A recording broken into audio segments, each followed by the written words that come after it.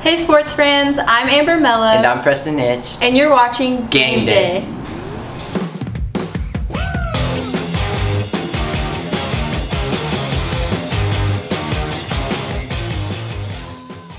It's already the second week of October. And it feels great here at the reservation. It's also the second half of football season. So let's break down tonight's matchup. Barbers Hill comes into tonight's matchup with a 2 and 3 overall record. PNG comes in with a 3 and 2 overall record. Last week, Barbers Hill played Crosby and lost 53 to 46.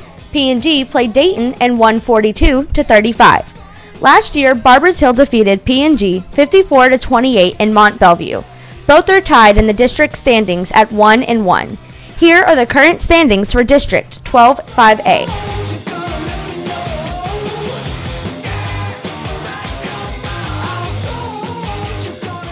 For Sports Break, I'm Lena Tubbs. Tonight is our annual Pink Out game in support of Breast Cancer Awareness Month. Show your support for the cause by wearing pink this month, and especially tonight.